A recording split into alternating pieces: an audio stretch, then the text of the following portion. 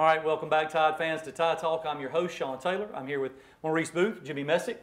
Want to jump right into the Arkansas game. Everybody, you know, all the hype about Tua being out and could the offense produce and and uh, how was Mac Jones going to do? They were going to, you know, dummy down the offense a little bit.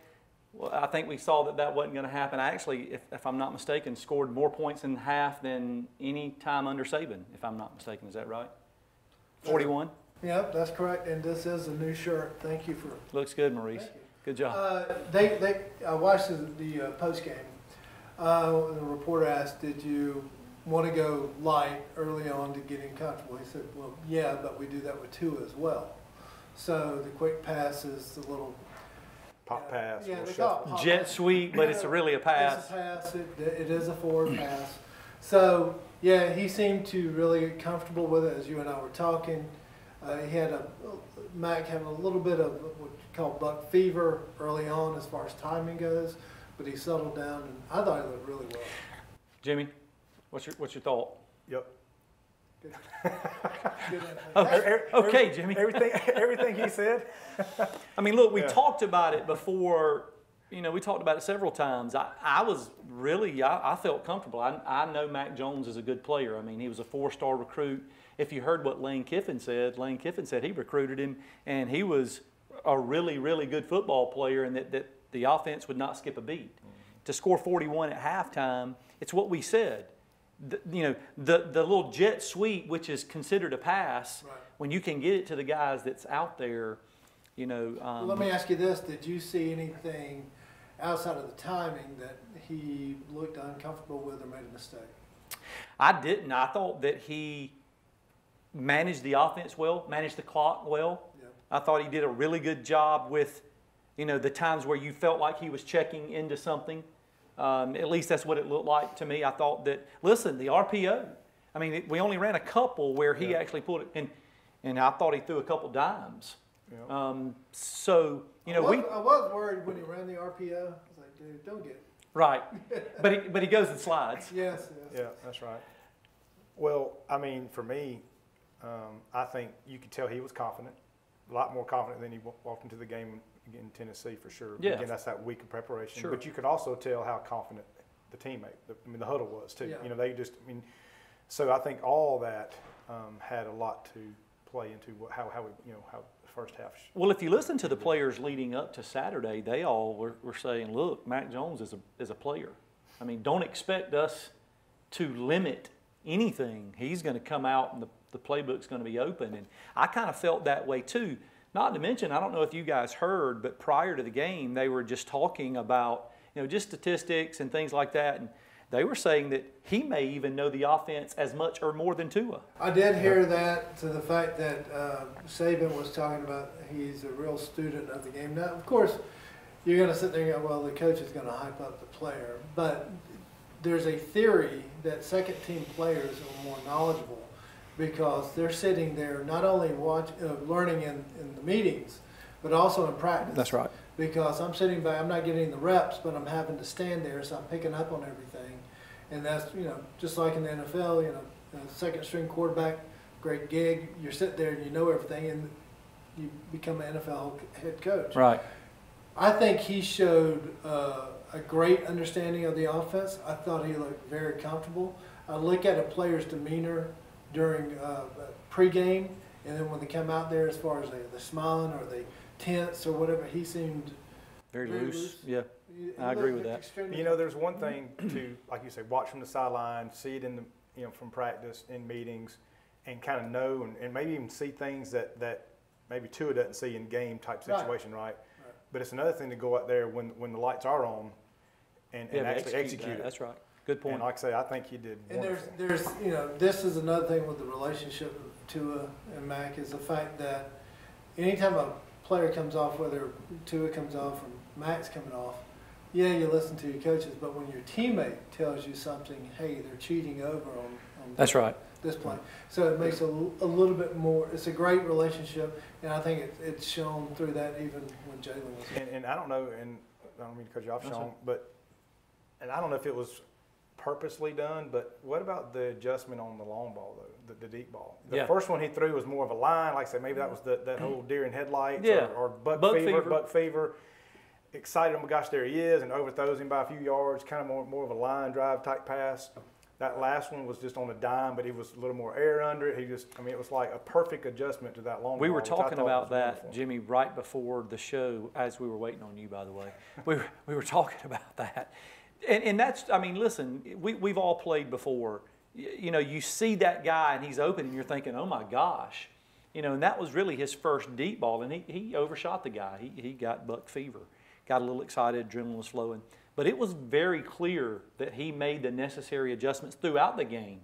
He made some really good passes throughout that game, even before that last long ball. And I'm, I'm going to tell you, you know, Nick Saban talked about it several times. It's not just the Mac Jones that's got to come out here and perform and be the leader.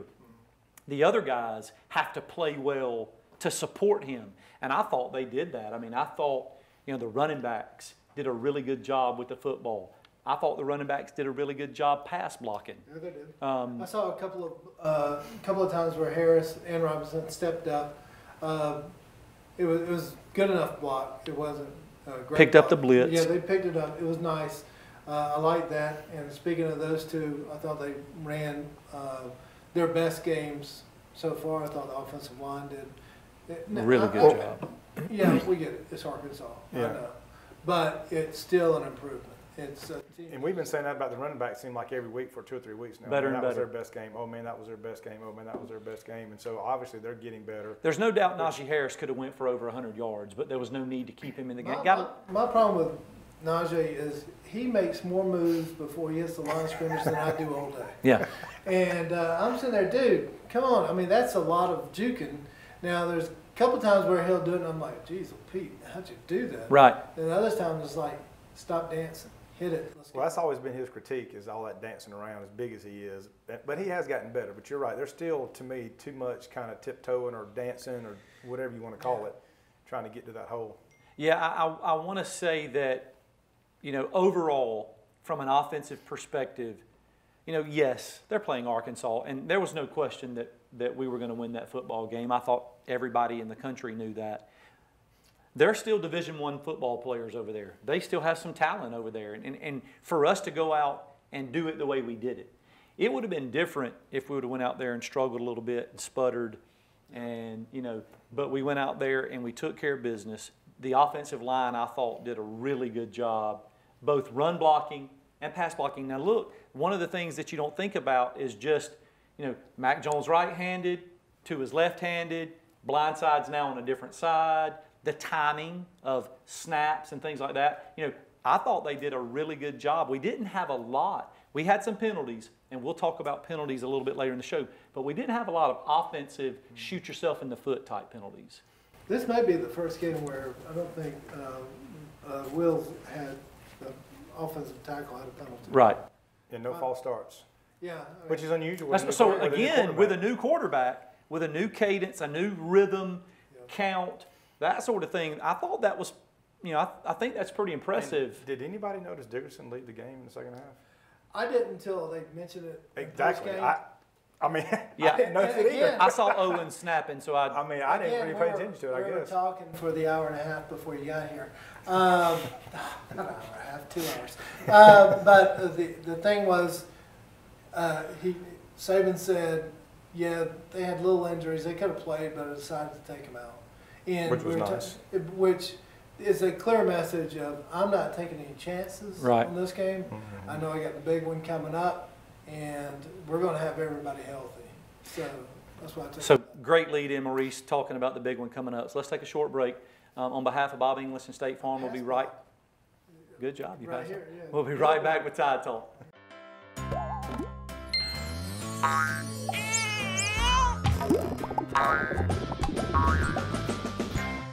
Enjoy the good times a little more with the right plan. As your State Farm agent, I am here to help you protect your dreams and loved ones with life insurance. With over 60 years combined State Farm experience, call me or any of my team to find out which options are best for you. Another way we're here to help life go right. All right, welcome back, Tide fans. Um, we, we were talking right there that last bit, and I don't want to jump into the big game yet. We still want to talk about a few things. And, and that is, you guys were mentioning it prior to the, the, the way our defense has progressed, the way we've moved up in the polls as it relates to stats and where we're ranked now. Nineteenth. You know, ranked 19th in the country. Coming off of uh, earlier in the year, we were 37th, and Yeah. you know, so we have seen some younger guys. Christian Harris, for one, I texted you in the game and said, "Man, he's all over the field." You texted me too. I, oh, yeah, I think we're in a group text. Yeah, yes, He's group all text over the thing. field. He's starting to play with a little more confidence. Now, I think that he's still, there's room obviously to grow because you can still see a little confusion on some things. You can see that with some of the younger guys, but he's starting to play a little more free. He's starting to play uh, with more of just athleticism and just react and play football. And, and man, look at look at I, the first the first half. He's all over the place. I know he was in on eight nine tackles, and that's good to see that the younger guys are starting to Well, relax and obviously, week eight, or technically nine, really, with the bye, you know, you, you would expect the, the, the freshmen. Do you call them freshmen anymore? I mean, they are they Well, are technically, technically, guess. Well, but he'd be a freshman All-American, so yes. Yeah. um, but to me, the biggest difference on that defense is Lewis and Jennings. I mean, them jokers are getting after that quarterback, and even when they're not getting after quarterback, they're still making plays. Jennings knocking balls down. the line. I mean, that, that's that. That's the seniors there stepping up, you know. And so, to me, that's why the defense looks Who night and day different with them two being healthy it- and playing it- well. it- you- Copeland Curry. Copeland and Curry. You, God, we're a great team. I have ESPN. Maurice. you have ESPN. Yeah. I- So we're going back that far, huh? Yeah, Copeland and Curry, the guys off the edge that wreaked havoc. And when when we've all said it, when Harris is healthy, you know Jennings on the other side, man, you know I don't know that Harris can be blocked if if he's healthy and he's you know ready to go. I, I I'm- I'm not sure that he can be blocked. which Harris I'm sorry, Lewis. about? Lewis. You're confusing me. Lewis, I- I- I'm I can sorry. see- I, can see I it don't know that eyes, too. Terrell I'm like, Lewis can be blocked. We talked about the play where they had the ball in the end zone, and he comes off the edge and he's shoving the 300 pound tackle back with one He's arm bull rushing with one arm. and deflect or in the, in the quarterback's face. face, And he, with just has left. to, and he has to throw it away basically, or get rid of it quick. Right. I mean, he he he adds a new dynamic to the defense, And it's like and those two are more. Com- I mean, you could tell they're more confident. I guess you, you could say. it, it takes some Coming- pressure com- off the com- young coming off the linebackers. injuries. They, they're playing Well, more confidently. The, and I can't remember which article I read, but it's a, a valid point to the fact that the DBs need to be thanking Jennings and Lewis Yeah. because he's ha- these quarterbacks are having to hurry, Yeah, and there's a lot to it to, as far as your decision making. Not to mention when you see somebody coming at you like that, yeah, I, I kind of want to get rid of this ball. So he's we saw it the other night. Now, granted, I know that uh, Jerry Jones' grandson is right now is not Peyton Manning or the next Peyton Manning. And we'll see something different with Joe Burrows, who's supposedly the Heisman front runner. stop it. Anyway, uh, You're not drinking that Kool Aid. Not yet. No, I'm not, and I'm tired of everybody acting like he is, and he's not. And he's not even the best quarterback in the conference. Right. So stop it already. It's hype. Uh, I would, you know, I'd have Jalen and Tua above, way above him. But those guys are such different difference makers when they're on, when they're healthy, and coming from the edge. Every offensive coordinator has got to go. Well, where are they? Where Mhm. And where, account where's it. my support? and account for That's them. right. They know where they are. They just got to get there and figure out how they're going to block them. I Right. mean, even the, the pick six. I mean, Diggs was in position, but the ball was so underthrown because he had.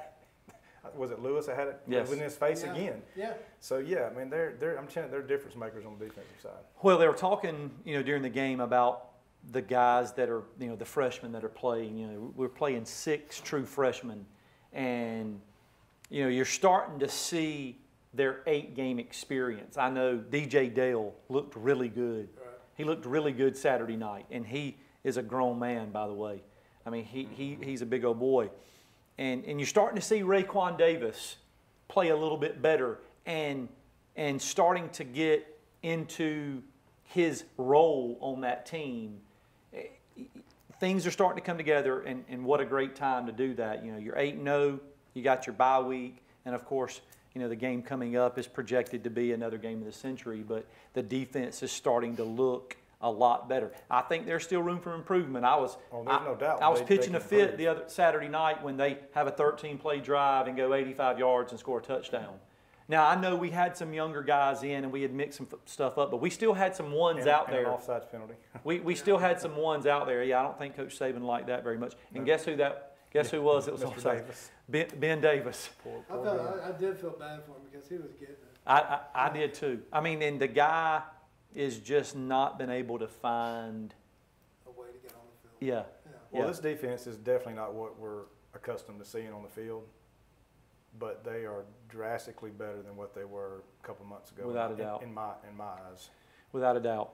I um, one thing I didn't notice, and y'all did did I not see Jared Jared Mayden He did not play.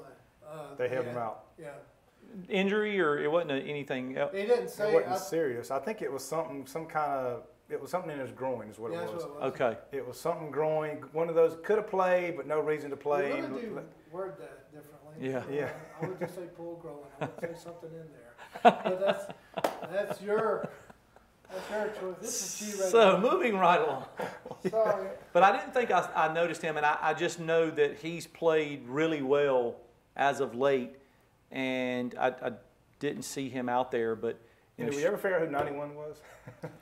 I gave you his name. I don't know. I, just, Mus- I didn't have. Musika. Yeah. I, I, I didn't have any. He, he remind he reminded me of Uh, the kid from Australia. Australia. yeah. Yeah, Jer- Jeremy Williams? Well, no, um, Williams Yeah. was his was his name. Jesse Williams. Jesse Jesse- Williams. But, where, but I don't even remember. I- I haven't on, seen on the him. depth chart anymore. Yeah, I haven't where seen did- him. I mean, they've just been hiding him. I how But he, he actually how got, hide that guy. he actually got a lot of playing time. Though there ain't no doubt he did. Play, played a pretty good bit in the second half. So I'm maybe we're hating it. starting to see some things that we haven't seen to this point that, you know, that we may see more of. And, and um, you know, look, anybody that can give some guys some a, a, a few plays of a breather, that sort of thing, that's always a bonus. Always a bonus. Real quick, let's talk about penalties. Guys, at some point in time, that's going to catch up with us. What, what are your thoughts with respect to what is that just newness, young guys? You know, is that freshmen? Is it nerves? I know it's not coaching. We, we, know it's not coaching. What, what, what's your thoughts on that? We've had more penalties than we've had under a Nick Saban team since he's been here. right. Well, I think what you can get aggravated at are the, the pre-snap. That's when it's that's when you got that mental lapse. You know, the offsides, lining up offsides, Yeah. false starts. You know, not being in the right formation. Those kind of things is what drive you crazy. I mean, to me, I mean, yeah. I mean, if you're if you're you know pass interference, but you're playing, and it, I mean, there's a lot of that stuff can be called. Some of it's not called. I mean, I, to me, I can almost overlook some of those. Those You know- aggressive penalties. You know, the hands to the face, which I'm not sure there was a hands to the face when Yeah, it was that's a called. tough I mean, it was right here. I get, I mean, those kind of penalties, yeah, you don't want to see them, but like you The- said, I mean, I, I the can't. pre-snap are the ones that drive him crazy. Yeah, And you know, he did mention, I think it was on last Thursday's press conference, about the DBs and getting their hands out there. yeah. And he he too was like, I don't know why they're they're putting their, their hands out there on them when they're beside them. There's no need for that. I mean, you can I can feel you shoulder to shoulder, or my, you know, so there's no need for me to reach out and when his hands go up, I go up. So Did we have I- any passing interference? I don't remember I, any passing I interference don't think we did this weekend. And that's that's an improvement. So obviously they must Right. have addressed it during practice. I thought Surtain had one. I could be wrong. he may have. Uh, I A, thought he had one. I mean, still way too many. But I mean, I think. Yeah, but when lead- again, when we the lead- when you aggressive lead the penalties- conference in penalty yards Yeah. is an issue. Well, I mean, when, But- when you play good teams, that's going to bite you. yeah. When you play good teams, that's going to bite you. So I, I think that's obviously a concern. I- I'm curious to see how we improve in that. Just not sure what that's all about, though. I mean, we, you know, it's not coaching. You know, it's it's not a discipline thing. Maybe it is just youth. Maybe it is just you know what Well, tough. no, I mean, some of the most penalized offensive lineman is uh, Most Set- experience. yeah, Yeah, and he's he's That's committing right. this uh, lack of focus. Right. Saban likes to call it. yeah. So, you know, I mean, have we seen that many penal- penalties by DJ Dale or, or Not really. or you know. Not really. So, I, I just think it's maybe out of frustration Yeah. a lot of times. But- but I think it, I think we had a better game. Yeah, we did have a better game. We, we did, especially from a DB's perspective. So um, it's going to be important as we go on into the next game. Let's take a quick break, and then we'll come back and talk about um, the big bad LSU when they come rolling into Tuscaloosa. The Tigers. So uh, we'll take a short break on behalf of Bob English and State Farm. We'll be Hey, right, be right back, Tide fans, with Tide Talk. In life, some things just go together, like a burger and fries, and home and auto insurance from State Farm. So make it a combo. Combining your home and auto insurance could save you time and money. And who doesn't like that? Just call me, Bob English, or any of my experienced hometown team and find out how you could start saving today. It's just another way.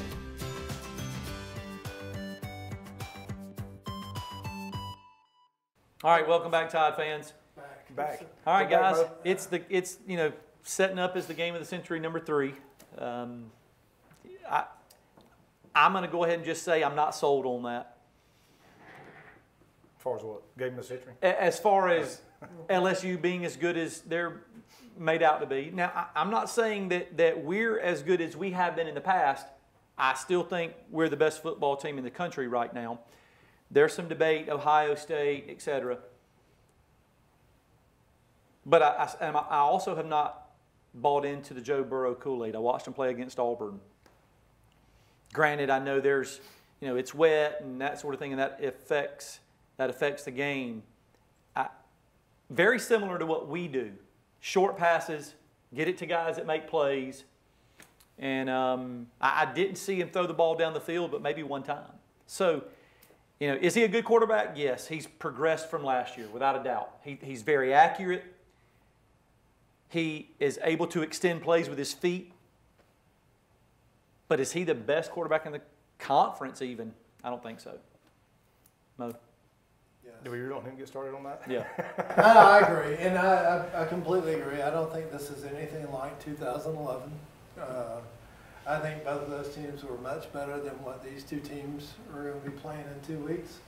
Um, I don't think Burrows is all that. I know he's got an incredible completion uh, uh, rating right now of what 79%, which is unheard of. It's a lot of think and dunks, but still connections, and they throw deep uh, when need be. I'm sorry, I just, I look at the opponents, it's not all that, I give you credit for your completion, uh, ratio, but I'm just not. Now, you come into T-Town and you beat us and you put on a show, Yes. well, then you've won my I, admiration. I agree. So, I'm just not believing it just yet, and if that were the case, then we wouldn't be a nine and a half point favorite. I, That's right. And I, real quick, Jimmy, and I'll let you talk. I, we've seen that Texas isn't the football team that everybody says they are. So to me, their best game to date was this past weekend. They beat Auburn. Auburn's got a good defense, but Auburn struggles offensively, and they beat them 23 to 20, and probably was could have gotten beat. Yeah. Um, so I agree. If he comes into Tuscaloosa at our place, he has complete 79% of his passes and beats us.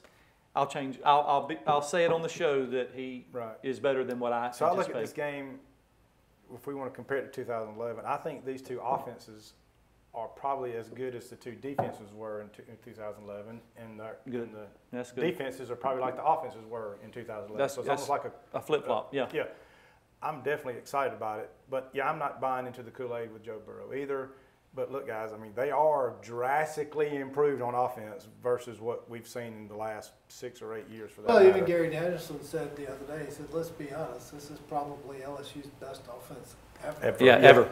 So I, I give you credit there, but I'm still not there. Now, maybe it's, you know, I remember watching Andrew Luck when he was uh, his junior year at Stanford, Stanford. And, and I heard all the hype, and I finally watched him, and he went down the field and scored. I said, well, that was unimpressive. And then I started thinking, I said, wait a minute, he didn't make a mistake. He made every completion. He just did everything he was supposed to do. So maybe Burrows is that. I don't see it right now, but again, if he comes in, he does it. You got it, bro. You are that good. I just don't think so right now. I don't think they've faced a defense. Not that we've got a great defense, Right. but I think if they played in Auburn had a decent up front, really good, but their secondary has always been suspect. Yeah. And I thought they played him really well. And like you said, only one deep ball. So we'll. Yeah, I, I um, I don't know that they have played in, in an environment that they're going to play in next Saturday on the road. on the road. You know, 102, 103,000 probably, and I, I don't know that they've played a defense. I, I agree. Not that our defense has been what we've seen from us in the past, but way better.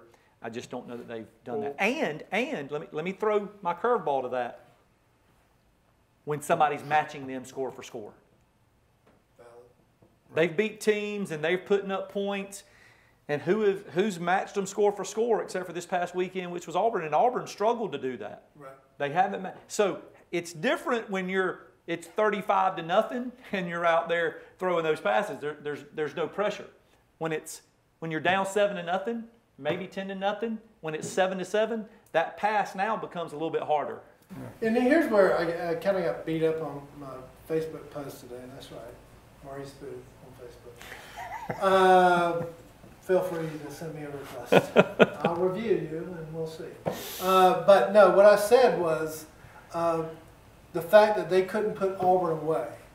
And it's no disrespect to Auburn because I thought their defense was solid. Yeah, very. But their Auburn's offense is struggling bad. yeah, And the fact that LSU couldn't pull away and have that huge separation getting up by 20, 28, it didn't happen. I was sitting there waiting in the second half, and Auburn just kept playing. They're, you know, so the fact that LSU couldn't do that, I'm like, hmm.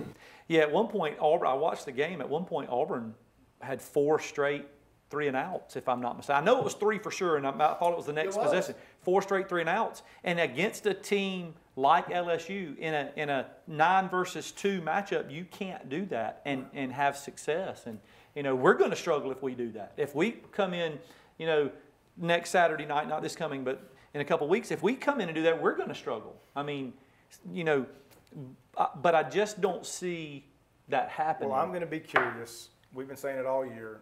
You know how you know kind of we haven't used the whole playbook on offense, I think, or on defense, and maybe part of that is because of the youth. But again, are they freshmen still or not? So I'm going to be interested to see, you know, from a scheme standpoint, because I've read some stuff where Auburn was playing more of kind of almost like a prevent everything up front. Rush so, three. So they couldn't. did that a you know, lot. they- so they didn't. They weren't giving up that long pass. Or you know, so is Saban going to kind of take something from that, or is he going to be go for broke, bring a lot of pressure, bring all these blitzes, leave our guys out on islands? You know, so I'm going to be interested to see how what kind of game plan and, and scheme our, our man. Well, you can bet that they've already started breaking it down. And I believe that our DBs are really, really good. I believe that, we, that he's going to have to be really, really good.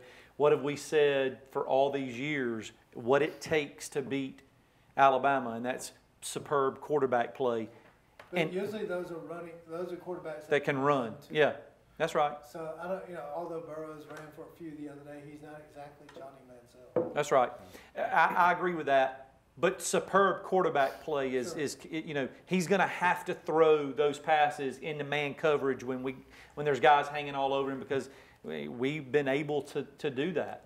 Well, he's going to have to play a perfect game, but even then, we- we've already talked about it. Our, our offense is Pretty good too. So, That's so, what I mean, as far as to, to Sean's so even point. on a perfect day, we could still beat them. I mean, Yeah, I would be surprised if we can't match them score for score all game long. I mean, I know that they'll try to do their best to take away the slant, but there's so many other things that we can do within this offense, so. Jimmy, does Tua play? Does he start? N- let me rephrase. Not does he play? Does he start? Yes. Maurice. I think I got a friend request. Uh, yes, he plays. Uh, th- you and I were talking, we've had ankle injuries. He was walking to the locker room, and if anybody's had a high ankle sprain, it hurts. Yeah. So the fact that he's able to do that lets me know that the recovery wasn't going to be that long, and he's just got a text alert that uh, he'll be practicing on Wednesday. Yeah, I'm, I'm definitely thinking that he is going, I think he's going to start. But let me just make this known. I'm okay if Mac Jones starts. I, I, I think, listen, there's no doubt that Tua is a better quarterback, a little more experienced, a little more polished with respect to, but I'm telling you, Mac Jones is capable enough with what we have on offense to, to play at home against LSU and win. But I do believe Mac Tua, Jones will play. Tua will start. It'll be in the fourth quarter. Ooh. good one. That's right. We opened as a nine and a half point favorite. I know that'll change, you know, as the weeks go. I know that'll change. I'm saying it's going to end up around six, six and a half, somewhere that, uh, in there. It still tells me that, that Vegas knows more about it than we do. Yeah. Um, but it's going to be a fun one to watch. There's no doubt about it. It's the game that we've been talking about for a while now. It's it's going to be our biggest test, you know, to this point. I think it's going to be LSU's biggest test to this point, obviously. So, be fun to watch, guys. We'll be, I'm sure, we'll be texting and talking during the game. So, um, Tide fans, we will be right back here next week. Now, we will be on having a bye week. We will come back and talk more about the LSU game. We'll give you more updates on what we know with respect to Tua and some things leading up to that game. So, uh, join us again right here on Channel 7 and 207. And uh, hold your seats, Tide fans. We'll be back next week with Tide Talk. Bye, Bob. Roll Tide. Roll Tide. Tide.